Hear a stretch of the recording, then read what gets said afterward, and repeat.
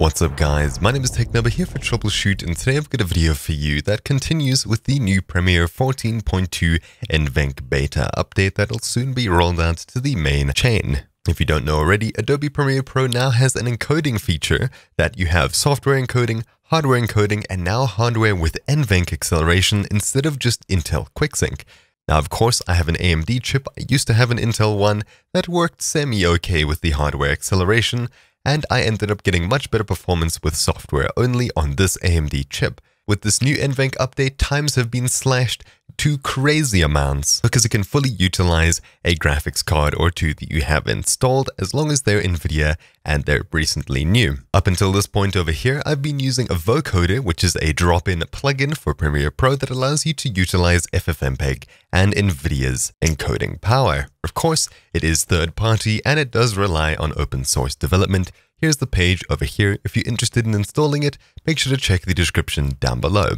I've also attempted to use Daniel 2's encoder, which you can see over here. An installation for this will also be linked down in the description below, and between these two I got relatively good performance out of the both of them. Recently Voukoder is running a little bit slower for me, but of course I'm still getting way better performance out of these two because they utilize my graphics card at least to some extent instead of just having it as purely CPU only. Now of course I'm not exactly talking about plugins that utilize NVENC or anything like that, I'm talking about the actual encoding. Say that you have a pure video in your timeline and you export it straight from there, it'll take quite a while if you're using software encoding, but if you're using NVENC that can speed up the process tenfold. So of course I was tempted enough to go ahead and download the Premiere Pro beta and give it a try and the results were rather surprising. It was extremely fast using it.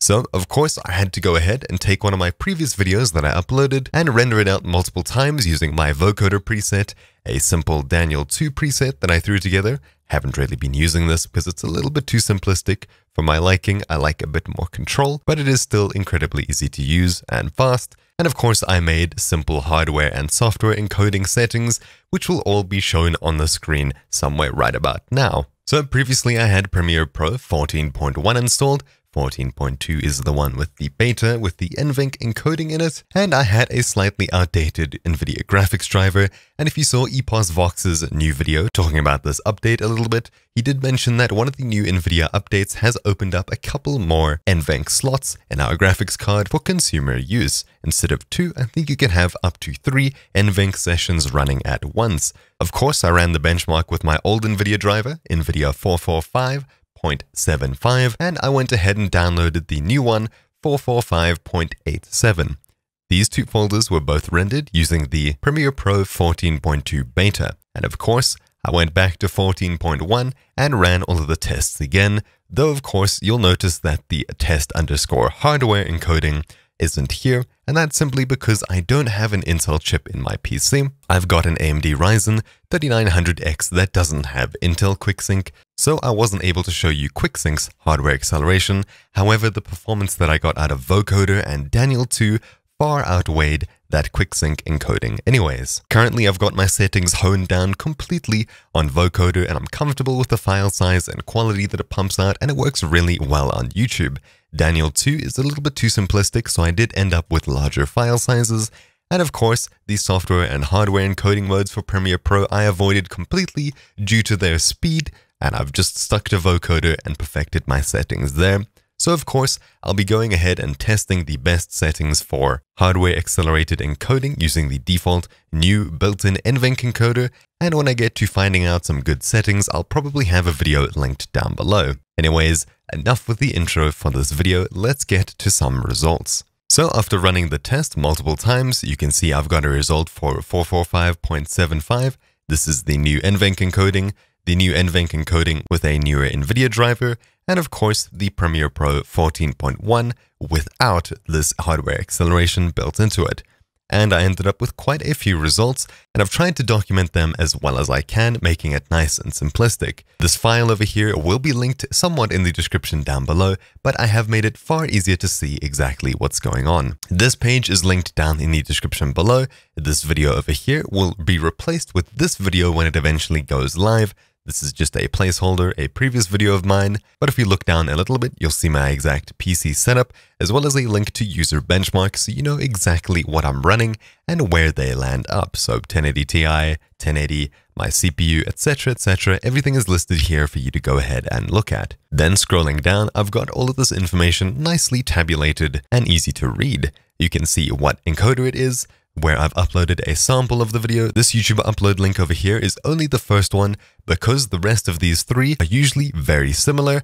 As you can see, the file sizes are almost exactly the same. Same with the bitrate, you wouldn't be able to tell a difference. So I've just uploaded the first copy that came out from all of them. This video is also public on my channel, and the public one that I uploaded a couple of days ago was created using Voukoder. So it would be this one over here, test Voukoder H264, and it was this one over here on getting a Valorant key. So of course you're able to go ahead and compare exactly what they look like if you'd like in the description down below afterwards. But with all of this information written down over here, it's very difficult to tell exactly what's going on. So I did create a very nice table using Google Sheets, which is also linked on this page. Heading across to it, you'll see a little bit of information on the right-hand side, see them all tabulated, and over here you'll see the actual graph itself, which is what we're actually interested in. And of course, at a quick glance, you can already see exactly what is going on here. This luckily doesn't require much explanation because it's so simple to see and understand.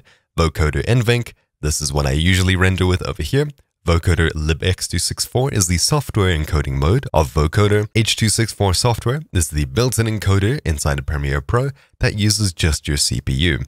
Usually, this Voukoder performs quite a bit better than this, but I'm not exactly sure why they're on the same level. As I said, it's been performing a little bit worse for me recently, but that's probably just Windows gunking up from all of the use. A clean reinstall would probably bring these back down to really short times. Then, of course, we have Cinegy H264, which was the Daniel 2 plugin that I mentioned earlier, that comes out around 4 minutes. Voukoder came around 7 or 8 minutes. The H264 software only encoding came around 7 minutes, but the brand new NVENC hardware encoding mode came out to about 3 minutes and 10 seconds.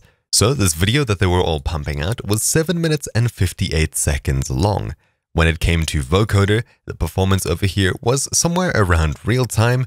H264 was slightly faster than real time. Cinegy was about half real time. And H264 was probably around a quarter of real time, which was actually really good and really surprising, meaning that this is probably going to be the best way for you to export video from Premiere Pro.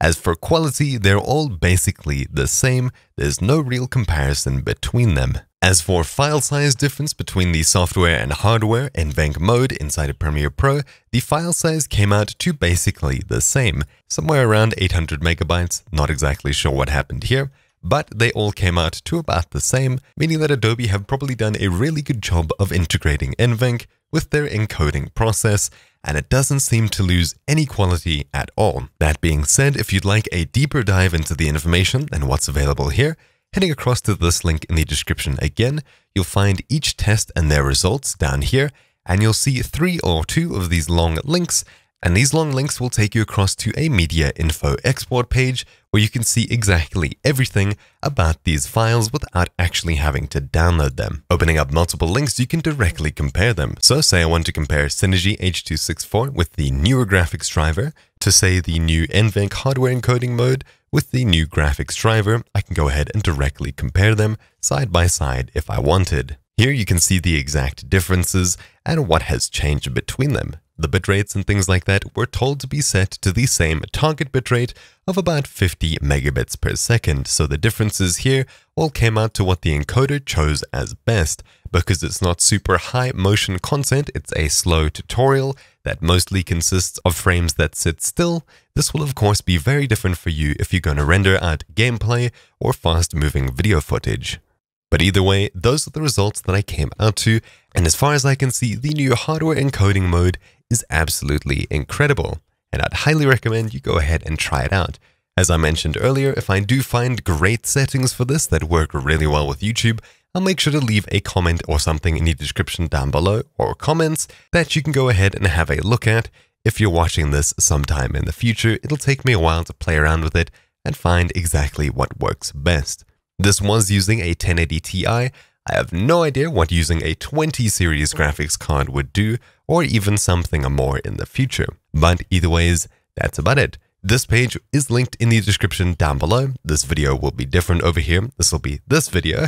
and hopefully this will point you in the right direction. If you're confused with how to get this new beta, there's another video linked in the description down below that will show you a step-by-step -step process of installing it. And of course, if you're interested in trying a Voukoder or Daniel 2, they're linked on this page over here, as well as in the description down below.